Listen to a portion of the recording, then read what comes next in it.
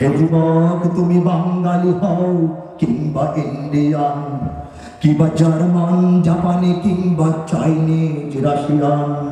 হে যুবক তুমি বাঙালি হও, কিংবা ইন্ডিয়ান, কিংবা জার্মান, জাপানি, কিংবা চাইনিজ, রাশিয়ান, স্প্যানিশ, ড্যানিশ, ফরাসি, কিংবা ব্রিটিশ, আমেরিকান, আরবি, আজমি ইরানি তুরানি, তুর্কি বা আফগান, মুসলমান। মুসলমান তুমি তো মুসলমান। তুমি সাদা হও কিংবা কালো হও, দেখো রক্ত তোমার লাল। সুখী হও কিংবা দুঃখী হও, দেখো ইমান ভেজাল সাদা হও কিংবা কালো হও, দেখো রক্ত তোমার লাল।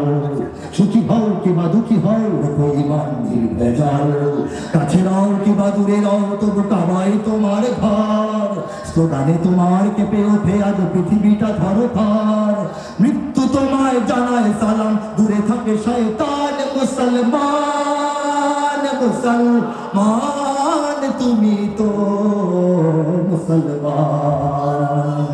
রক্তে তোমার যদি চলে শাহাদাতের আগুন লাখো শহীদের খুন পথে ঢালো কলুচার খুন চেয়ে দেখো আজ এসেছে আবার দিন বদলের দিন। নয়া জামানার মিনারে মিনারে ডাকিছে মুয়াজ্জিন। ছিঁড়ে সব মায়ার বাঁধন, জীবনের পিছু টান মুসলমান মুসলমান তুমি তো মুসলমান। এই যে আহ্বান এইগুলি কি বৃথা যাবে বলে আপনাদের মনে হয় বৃথা যাবে বলে মনে হয় এই দূর বাংলার এক কোণা থেকে আপনাদের ঘরের কবি লিখতেছি, গাইতেছি, সারা দুনিয়ায় আল্লাহ পাক ধারে এই সব পানি ছড়িয়ে দিলে করুন। আমি যখন ইউরোপ সফরে ছিলাম, লন্ডনে বাচ্চারা, মুস- মুসলিম ফ্যামিলির বাচ্চারা, যারা একটু ধর্মীয় শিক্ষার জন্য কিছু স্কুলে আলাদাভাবে যায়, সেখানে পরিদর্শন করতে নেওয়া হলো। সেখানে সাত বছর, আট বছরের ছেলে মেয়ে বাচ্চারা আর বাংলাদেশ এই দুই চারটে শব্দ ছাড়া বাংলা বাংলা বলতে পারবে ওখানেই জন্ম ওখানেই বড় হয়েছে। তারা আমার সামনে আমার এইসব সংগীত গিয়ে শুনিয়েছে তাদের তাদের টিচাররা হয়তো ট্রেনিং দিয়েছে দিয়ে তখন চোখে পানি এসছে যে এই দূর বাংলার এক হ্যাঁ, অখ্যাত কবির এই চিন্তা এবং এই বাণী এই কণ্ঠ সারা দুনিয়া মুসলমানদের কানে কানে আল্লাহ পৌঁছে দিল। পৌঁছে দিল। এই চেষ্টা করছি। তবে সারা দুনিয়ার মুসলমানদের ঐক্যের জন্য চেষ্টা তো আমাদের করতে হবে। বাংলাদেশের মুসলমান, আমরা কি ঐক্যবদ্ধ হতে পেরেছি? আসতে বলেন কেন? জোরে বলেন। নিজেদের শরমের কথা, ঠিক না বলেন? আমরা এখন ঐক্যবদ্ধ হইতে পারি নাই। আমরা মাদ্রাসায় মাদ্রাসায় দ্বন্দ্ব। মসজিদে মসজিদে দ্বন্দ্ব হয়ে যায় অনেক জায়গায়। আর দেখা যায় যে হাক্কানি বন্ডপীঠদের কথা বাদ দেন। হাক্কানি পীর যারা, তাদের মুরিদদের মধ্যে খুব একটা মিল মহব্বত দেখি না। হ্যাঁ? একজন সুন্দর মুসলমান পরোজগার মানুষ দেখলে তাকে নিয়ে সকালবেলা একটু চা খাওয়ার ইচ্ছা হয় না। মনে হয় যে উনি যদি আমার পিসাবে করে দিত, তাহলে উনারা নিয়ে চা খেতাম। ঠিক না? কেন? আমাদের এই মাদ্রাসা, আমাদের এই মসজিদ, আমাদের ইসলামী রাজনৈতিক, অরাজনৈতিক দল, সংগঠন, আমাদের এই বিভিন্ন তরিকা এবং এই যে মেহনত হ্যাঁ? এখানকার মেহনত, এগুলি কি মুসলমানদেরকে বিভক্ত করার জন্য না ঐক্যবদ্ধ করার জন্য? এই থিওরিটাই ভুল আপনার এই বিরাট এলাকার সমস্ত মানুষ একটা মসজিদে নামাজ পড়ার তো কথা না। সম্ভব না।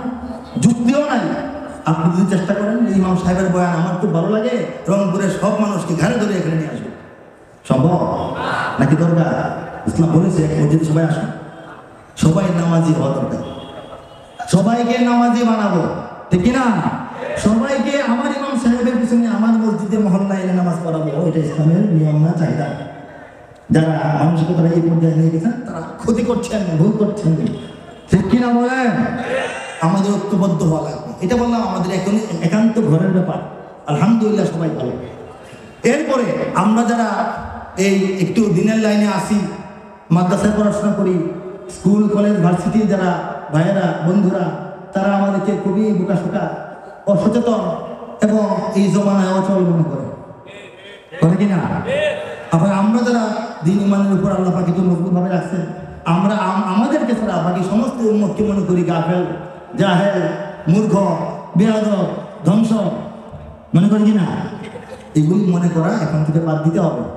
একটা কম্বল, যদি আপনি লোম বাছাই করতে যান, কম্বলের মধ্যে লোম লোম রাখব না, কম্বল থাকবে? থাকবে? বাংলাদেশের বিশ কোটি মুসলমানের মধ্যে যদি আপনি দোষ ধরা শুরু করেন, সবাই দোষী, আপনি একা ছাড়া, সবাই খারাপ। দেখবেন যে আপনি খালি ভালো আর কেউ কিনা ভালো না, কাজেই দোষ ধরাধরি নয়। অমিল খুঁজতে যাবেন না, মিল খুঁজতে শুরু করুন কার সঙ্গে কতটুকু মিল পড়ে? ইসলামের পক্ষে মানুষটা আছে কিনা তাহলে সে আমার ভাই। দেশের বিরুদ্ধে না দেশের পক্ষে? সে কি পাকিস্তানের দালাল হলে আমার লোক না? ইন্ডিয়ার দালাল হলে সে আমার লোক না? সে কি ইসলামের দালাল কিনা বাংলাদেশের স্বাধীনতা সার্বভৌমত্বের পক্ষে কিনা মোটা দাগে বড় এই এরিয়া হিসেবে সে আমার বন্ধু ঠিক কিনা সেখানে দেখতে হবে সবাই রাজি আছে না? হাত তুলি হাত তুলি বলে একটু। আমার সঙ্গে উচ্চারণ করুন। সবাই মিলাও হাতে হাত। আমরা উচ্চ কণ্ঠে গর্জন, সমুদ্রের গর্জনের মতো আওয়াজ চাই। সবাই মিলাও হাতে হাত। মুরা মুহাম্মাদের উম্মত সবাই মিলাও হাতে হাত। মুরা মুহাম্মাদের উম্মত প্রত্যয় গ্রহণ করেছেন কিনা বলেন? আজকে থেকে কাকে কি খারাপ লাগে? কার কি দোষ? কারে কেমনে দূরে ঠেলে দেওয়া যায়? এই চিন্তা পরিবর্তন করে তাকে কতটুকু আমার সঙ্গে মেলানো যায়, তাকে কাছে টেনে আনা যায়, আমার দল কেমনে ভারী করা যায় এটা চেষ্টা আমরা সবাই করব কিনা বলুন?